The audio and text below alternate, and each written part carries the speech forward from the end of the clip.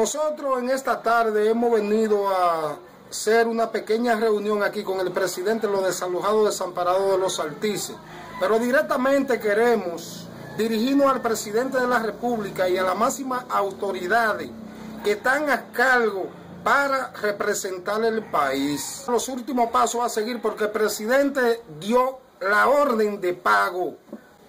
La orden de pago lo antes posible al senador y al gobernador de la provincia, los cuales hemos tratado de comunicarnos con ellos o, de, o con algunos de ellos, incluso no nos cogen la llamada. Este punto nos dijo cuando vino aquí con la comisión el senador que nos reunimos con él en la Fundación Campo Verde, él dijo que si nosotros no comíamos pollo, lo más probable era que comiéramos puerco con ese pago, lo cual el pago se ha desvanecido. Sí, díganos, ¿qué tiene que decir?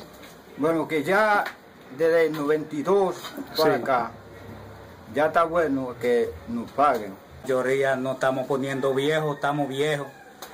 Y la esperanza dicen que mantienen, pero la esperanza mueren los animales que se la comen y nosotros no estamos muriendo porque ya no comimos la esperanza. Le pregunten a don Francisco de los Santos si de los desalojados, los desamparados de Sánchez, están desde el año 1992 desalojados o no, y se le debe ese desalojo, porque es un grupo desconocido como desalojados los haitises, que no es un grupo que está inventando.